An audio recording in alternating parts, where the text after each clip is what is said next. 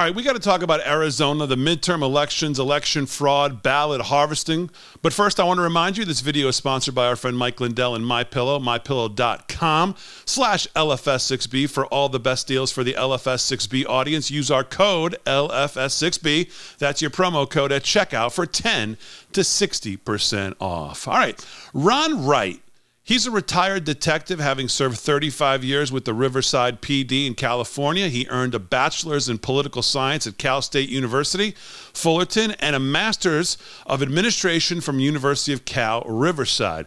And he has a piece today on Arizona, and things just don't add up. He says while political polling is an art, statistically rigorous polls are generally within the ballpark, yet Arizona – the 2022 election results don't make sense.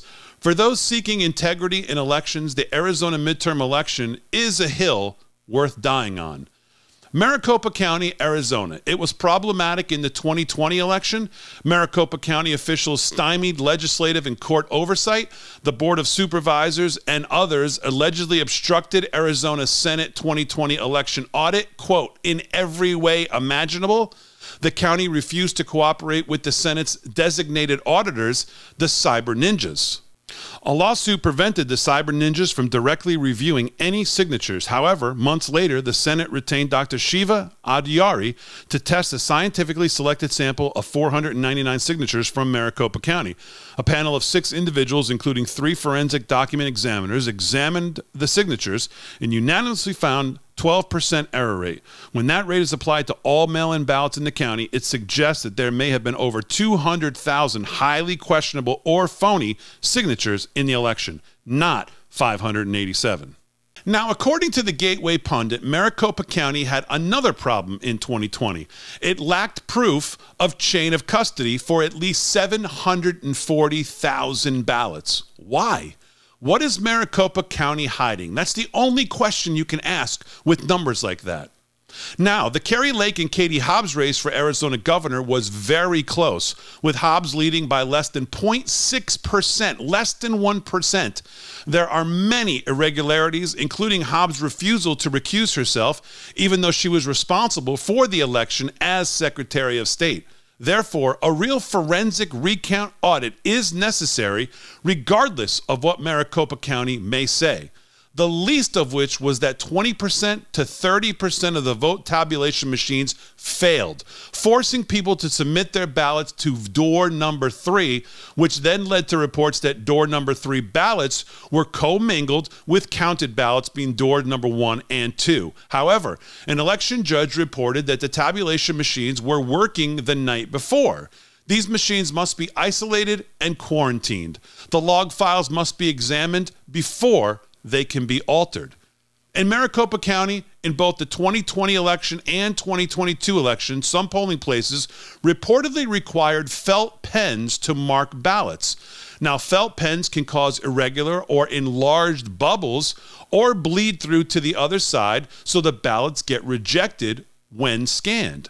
It's unclear if ImageCast adjudication, which is part of Democracy Suite 5.5b, is used in Maricopa County. Under that system, the rejected scanned digital image is sent to a person for adjudication. This person can make changes.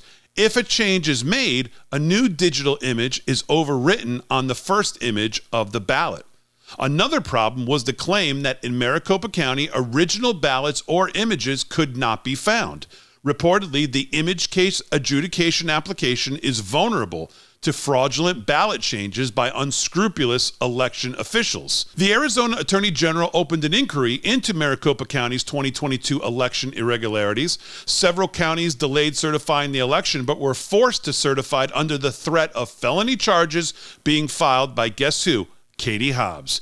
Kari Lake filed a suit in Maricopa County for election records and threatens more lawsuits. Now, we covered that lawsuit in a former video that about a quarter million people have watched, and I appreciate you watching that. If you haven't watched it, it's on our page. Go watch that. This is really a follow up to that video, and I'll have more follow ups as we get more information. A principal concern in Maricopa County is ballot harvesting, affecting the integrity and the validity of early voting ballots. Another concern is is whether the county properly certified and secured the voting machines.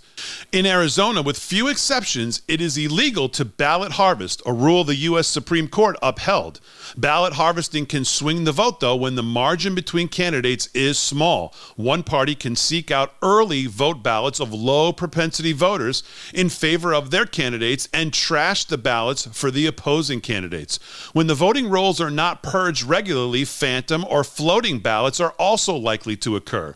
Eric, E R I C, a third party vendor, appears to be problematic in this regard. Cleta Mitchell of the Public Interest Legal Foundation reported on the 31 states who use ERIC or ERIC, which was an originally Soros funded entity providing virtual food and clothing to phantoms. Eric is a totally faked out entity giving both Republican and Democrat governors cover for keeping phantoms on the voter rolls. Now, when early ballots are allowed to trail in over several days, it's not rocket science to figure out how many ballots are still needed to swing the vote from one candidate to another. As in 2020, there is video evidence again of mules dropping harvested ballots in the 2022 election. As usual, though, the media are downplaying nothing to see here, folks, with disinformation through fact checks. The Associated Press, in its style manual, maintains, quote, there was no widespread fraud in the election, as has been confirmed by a range of election officials across the country. In fact, Maricopa County was overwhelmed by early voting ballots dropped in the 2022 election. The signature verification standard was lowered several times and then dropped altogether because the county was running so far behind. The effect is potential fraudulent ballots will slip through. Was there a repeat in the 2022 election? Well, Kari Lake's campaign had roving RNC attorneys monitoring Maricopa County voting centers who issued this report.